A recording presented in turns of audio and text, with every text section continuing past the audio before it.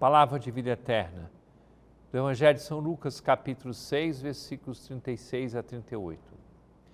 Naquele tempo disse Jesus aos seus discípulos: Sede misericordiosos, como também o vosso Pai é misericordioso. Não julgueis e não sereis julgados, não condeneis e não sereis condenados. Perdoai e sereis perdoados.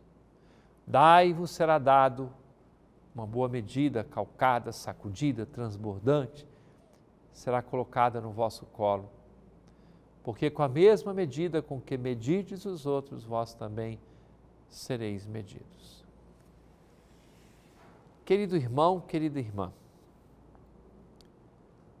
generosidade suscita generosidade, ou como o povo gosta de dizer, gentileza gera gentileza quando nós abrimos o coração, somos expressão da providência de Deus uns para os outros. O resultado é que Deus multiplica tudo aquilo que nós já temos e podemos ter. É a grandeza da liberdade com que o amor de Deus cuida de nós. Que bom sabermos disso. Que alegria experimentar a graça do Senhor que vem ao nosso encontro, quando a gente também tem essa medida larga. Começamos uma nova semana.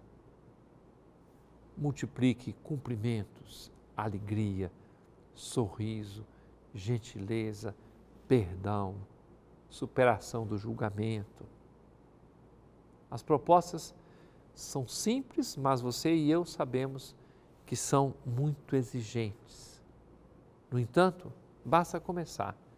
E se começamos a ser diferentes, e se começamos a pautar a nossa vida pela misericórdia do alto, aí as coisas se transformam.